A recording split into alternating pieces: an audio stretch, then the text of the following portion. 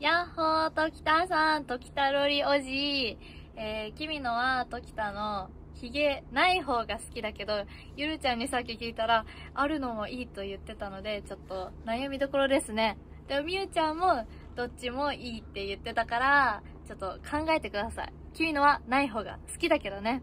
えーそんな時田さんのこと、えー君のも大好きだからね。ということで、バイバーイ。はい、ということでね、えー今日は、えー、君のマイカちゃんのね、あの CD 買った、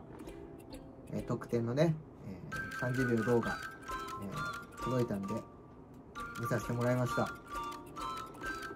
えーそして、グッドナイトワールド、デイリー3位、そしてウィークリー11位、おめでとうございます。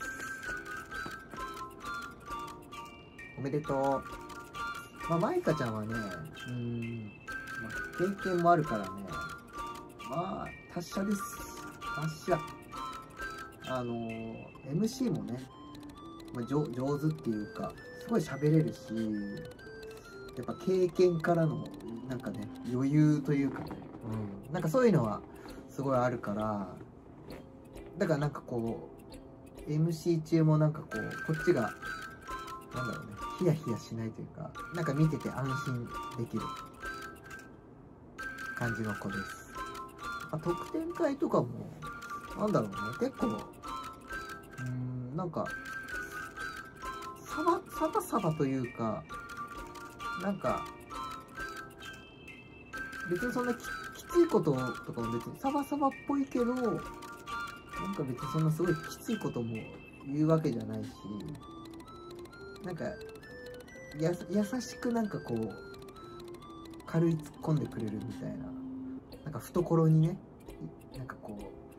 う、おいみたいな感じで来るっていうか、イエーイみたいなノリじゃないけど、なんか優しく懐にこう、スッて来てくれるからね、マイカちゃんは、そこがね、すごい、いいです。まあ、マイカちゃん行きやすいと思うね。うん、特典会は。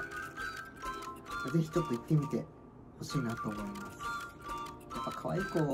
見てね、ノーリアクション難しいですね。う、みんな可愛い。っていうことで、えー今回インスタのね、えーちょっと動画拝見させていただきました。えーグッドナイトワールド、みんなも買いましょう。またね